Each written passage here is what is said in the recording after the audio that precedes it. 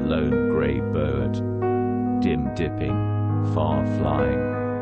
alone in the shadows and grandeurs and tumults of night and the sea, and the stars and storms. Out over the darkness it wavers and hovers, out into the gloom it swings and batters, out into the wind and the rain and the vast, out into the pit of a great black world, where are at battle, sky driven, sea blown,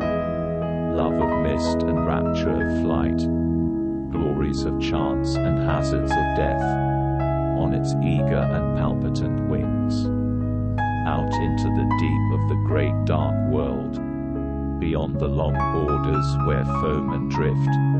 of the sundering waves are lost and gone, on the tides that plunge and rear and crumble,